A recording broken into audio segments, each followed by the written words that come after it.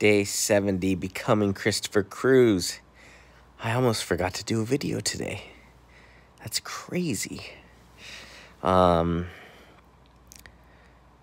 so, uh, I've been out here. Just saw a coaching client today, which was great. Um, to catch up with her, do a little bit of coaching, tell her about my MVP program. That was all good. Um, but I've been spending the days with my ex girlfriend, and it's been awesome. Like, really, really amazing. Both of our hearts have been open. We've been fully self expressed with each other. We've been laughing, having the best time. Like, and I've never felt so close to her before.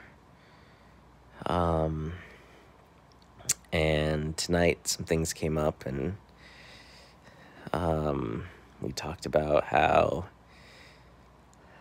like, we've the last seven months of our life, of our lives, have changed so much because we've had each other there to support each other and push each other and help each other grow and and we changed our lives so much in that seven months because of each other. And, you know, we had each other there. And so that, allowed us to kind of do things that we wouldn't have done on our own. Like, I know for sure there's so many things that I would not have done in the last seven months if it wasn't for her. If it wasn't for her encouragement, if it wasn't for her challenging me and pushing me and seeing the greatness in me and holding me accountable and doing all these different things and inspiring me and loving me and I just there's so many things I wouldn't have done and I know it's the same for her. And uh the last 7 months we really needed each other to get to the point that we're at now. And um I believe the next phase of our transformation or our journey is to now do it on our own.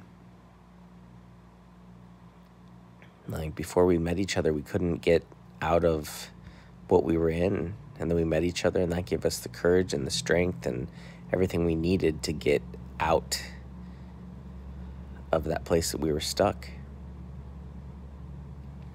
And now that we're both coming out of it, it's like that next phase is okay, we did it with help, now can we do it on our own?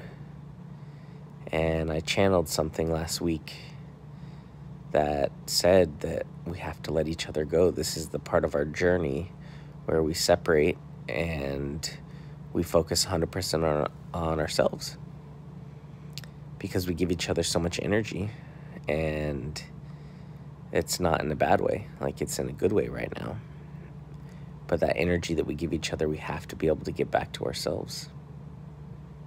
And so it was just saying, like, we need to go down a separate path right now and heal ourselves and do what we need to do and grow and transform and um, become the people that we're meant to be. And we'll come back into each other's lives and it will be way more powerful than it ever was before.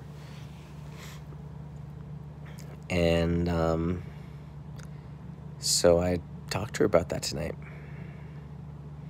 It was really hard because we've never felt this close and connected before. She's really opening her heart, and that's all I've ever wanted. And now she's doing it. Um, but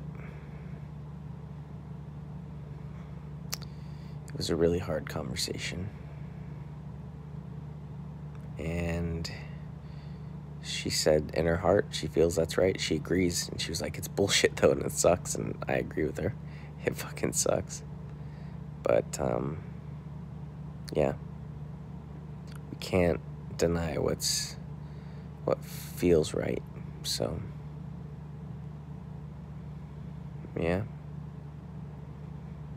So we got three days to just enjoy the fuck out of each other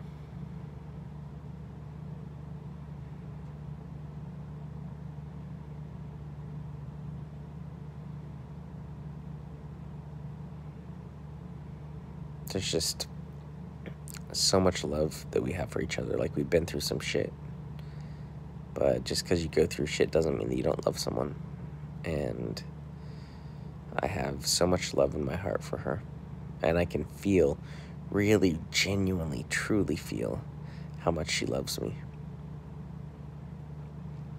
And that's such a blessing. So,